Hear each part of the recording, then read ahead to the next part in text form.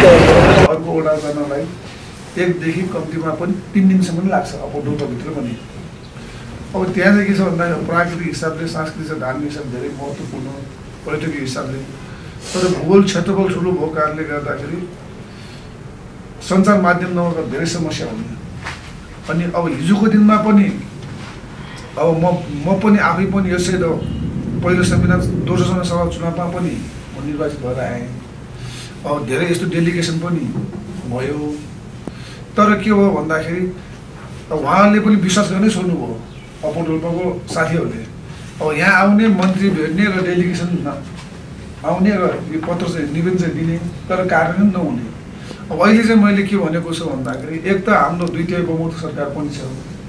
त्यसमाथि हाम्रो अब सञ्चार मन्त्री अब हामीलाई अब सञ्चारसम्म सम्पूर्ण बुझेको सम्पूर्ण बुझेको अनुभवी मन्त्रीज्यू आउनु भएको छ भनेर मैले उहाँलाई स्पष्ट रूपमा अ, राखेँ कुरा।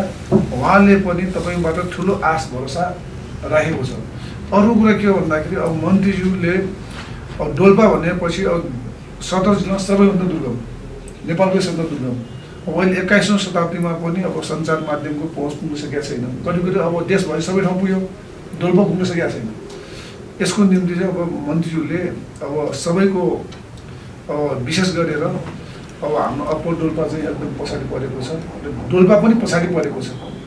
मन्त्रीले चाहिँ यसलाई चाहिँ अब सहयोग गरेर अनुरोध गर्छु। छ। मेरो हाम्रो यो डेलिगेसन एउटा चिन्ह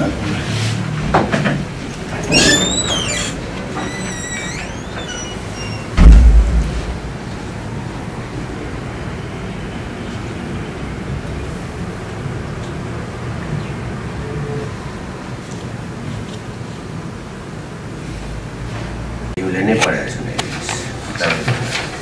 बसेर बसेर श्री एमडी सुन्नु है म हुन त तपाईँले photo Shri MD Nepal photo नखिच्नु telecom माननीय पर्यटन राज्य मन्त्री सहितको डेलिगेसनले बुझाएको यो मागपत्र बमोजिम आगामी ज्येष्ठसम्म सबै कार्य पुरा हुने गरी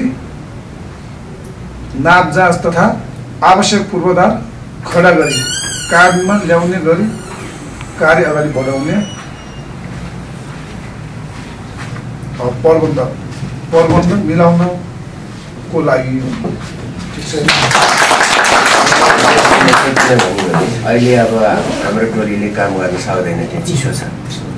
होइन? व्यवहारिक कुरा गर्नुपर्छ। तपाईँहरूको यो काम हुन्छ। अरू दुईवटा काम पनि तपाईँहरूकोमा हुन्छ। माननीय मन्त्रीज्यूले नै भनेर तपाईँहरूको छवटा माध्यमिक विद्यालयहरूमा कम्प्युटर ल्याबहरू पनि हामी वैशाख त्यहाँ त अहिले वैशाख नलागि सकिँदैन होला।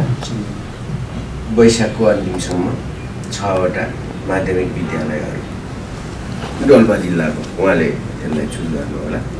त्यहाँ हामी राख्छौँ। अर्को तपाईँहरूकोमा जेठभित्रै वडा कार्यालयहरू गाउँपालिकाको कार्यालयहरू सबैमा नेट पुगिसक्छ। नेट पनि पुगिसक्छ। र अर्को तपाईँहरूलाई हामी नि शुल्क मोबाइल एप पनि बनाइदिन्छौँ। त्यसको डाटा तपाईँहरूले गाउँपालिकाहरूले दिनुपर्छ नगरपालिकाहरूले दिनुपर्छ। त्यो काम पनि हामी गर्छौँ।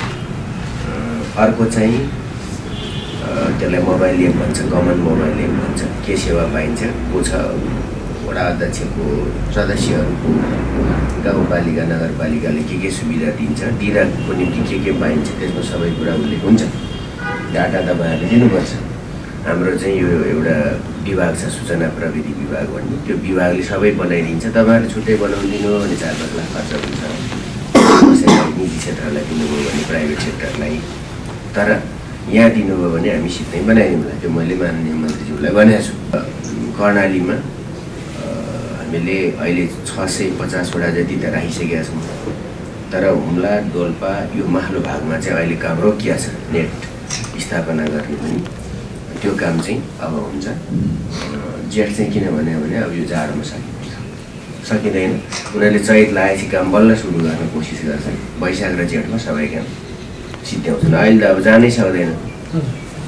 खर्चिलो पनि हुन्छ अझ सम्भव छैन अहिले सम्भव छैन त्यसैले व्यवहारिक कुरा गरेको तर तपाईँहरू कोही पनि निराश हुनु पर्दैन तपाईँहरू निराश हुनु पर्दैन यो काम हामी जसरी पनि गरौँ है त ल सबैलाई धन्यवाद